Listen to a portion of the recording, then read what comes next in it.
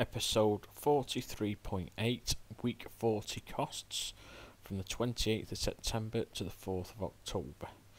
As usual, the setup's in the description below, but moving straight on to Monday the 28th of September, we had a cost of 36 pence for 5.71 kilowatt hours, which was an average cost of 6.22 pence per kilowatt hour.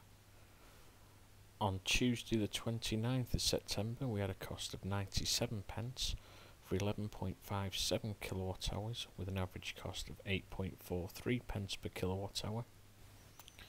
On Wednesday the 30th of September we had a cost of £1.18 for 13.42 kilowatt hours with an average cost of 8.77 pence per kilowatt hour and that was the highest average of the week. On Thursday the 1st of October we had a sudden change on the 1st of October. The central heating started kicking in quite considerably. So on the 1st of October we had a cost of £1.59 for 21.31 kilowatt hours with an average cost of 7.45 pence per kilowatt hour. On Friday the 2nd of October we had a cost of £2.49 pence which was the most expensive day of the week and that was for 37.43 kilowatt hours with an average cost of 6.66 pence per kilowatt hour. And moving on to the weekend, on Saturday the 3rd of October, we had a cost of £2.31 and that was for 43.33 pence per kilo, sorry, 43.33 kilowatt hours with an average cost of 5.33 pence per kilowatt hour and on Sunday the 4th of October we had a cost of £1.27 but that was for 47.13 kilowatt hours and the average cost was only 2.69 pence per kilowatt hour. That gave us a weekly cost of £10.17 pence and when you include the VAT and the daily charge that took the cost to £12.14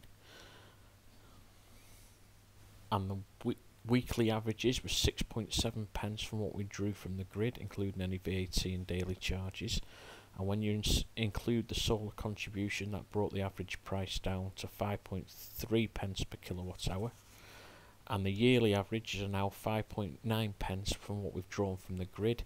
And when you take into consideration what we've generated from the solar, that brought the average price for the year of 3.5 pence per kilowatt hour. And to summarise up until week 40 of 2020, we've now done 4,309 miles charged from home. We've imported 7,716 kilowatt hours. We've had a solar contribution of 3,532 kilowatt hours, so that, that's a total of 11,248 kilowatt hours at a cost of £478.40. We've had a gas cost of £57.80, so we've had a total utility bill of £536.20.